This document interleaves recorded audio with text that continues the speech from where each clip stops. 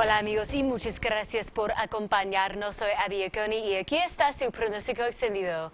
Mañana en Colorado Springs vamos a tener una temperatura máxima de 81. Después tendremos temperaturas máximas en los 70s y 80s con posibilidades de lluvia y tormentas el sábado. Y en Pueblo mañana vamos a tener una temperatura máxima de 90.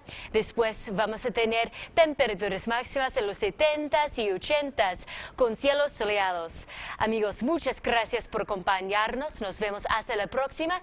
También visítenos en telemundosurco.com. KTLO, KTLP.